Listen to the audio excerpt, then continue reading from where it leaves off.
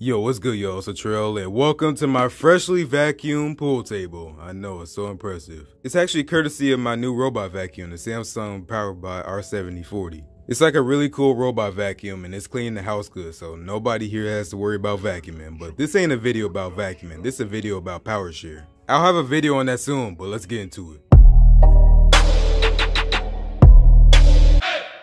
So, Galaxy S10 Plus Wireless PowerShare. It's a dope feature I'm really feeling. And Samsung said it should work with most Qi enabled devices. That's the keyword, most. So I got all these devices here and I want to see which ones work and which ones don't. And at that, you can already charge other Qi devices like a LG or a Huawei or even an iPhone. Doubt you could charge an Apple Watch on this thing, but you could charge an iPhone on it. And you know what? You could probably even charge a Wear OS watch on this thing. I'm not sure about that, but probably. You may not think that you need it, but you never know when you might need it. And actually, actually no, I got a good example for this. See, what had happened was I went to Culver's, right, with my friend Madison. Hi, Madison.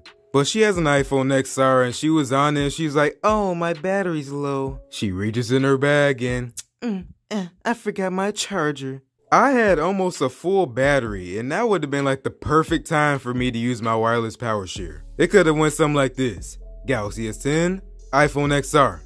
Boom done. So just moments like that, maybe you forget to charge your Galaxy Buds or your watch or something like that. You could do it with your S10. So here's what's going down over here. So these are all the things I'm gonna wireless charge except for that. So I got the Samsung Bio Design speaker, the Galaxy Note 5, Galaxy S6 Edge Plus, Galaxy S8, the Galaxy Buds, Gear S2 Classic, and the Gear S3 Frontier. No, I don't have the Galaxy Watch, I just have the Gear S3 Frontier, but the Galaxy Watch will work obviously. And I got this over here so I can connect it to this so we can hear the charging sound louder. So actually I'm gonna go ahead and move table so we can do this easier, so I'll get back to y'all. Alright, it's that time of the table again, and I got everything back. So, is you ready? Not are you ready, but is you ready? Let's just go ahead and do this. So let's go to notifications. Let's click on wireless power share.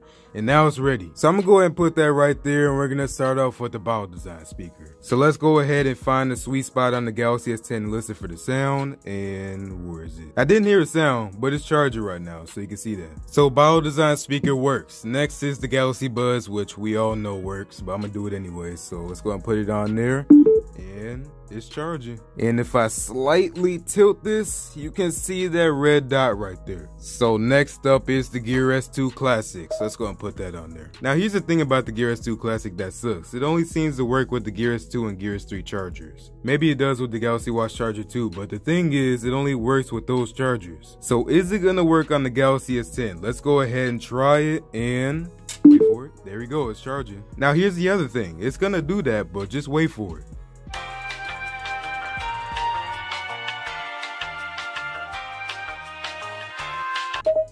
Yeah, you see what I mean? It just stops charging. So I don't know why it does that. I wish I knew why it did that, and I wish it didn't do that. Next up is the Gear S3 at 95%. Let's go ahead and put that on there.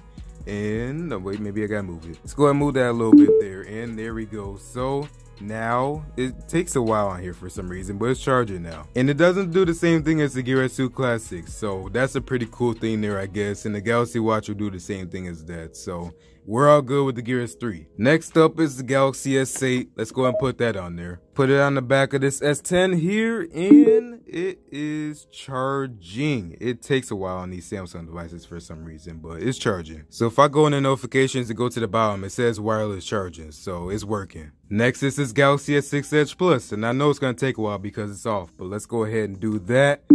And it says that, well, it doesn't say it, it makes a noise, but there we go, it's charging. And lastly, it's gonna be the Note 5. Three, two, one, let's put it on there. And that was, okay, that was quick. It's actually charging now though. And I hear the NFC going off right now. So yeah, that's a thing, but yeah, they're all charging. Except for the Gear S2 Classic, but yeah, they're all charging. So for the most part, I don't think you got to worry about that. So like I said, these, your iPhone, whatever has Qi wireless charging, it should work. Unless it's some weird proprietary thing like the Gear S2 Classic. I don't know what that's all about. Maybe Samsung can fix it for me? I highly doubt it, but I don't know. But that was pretty much it for me, so thanks for watching. I'm gonna see y'all in the next one, and I'm gonna go and turn this thing off. And peace out.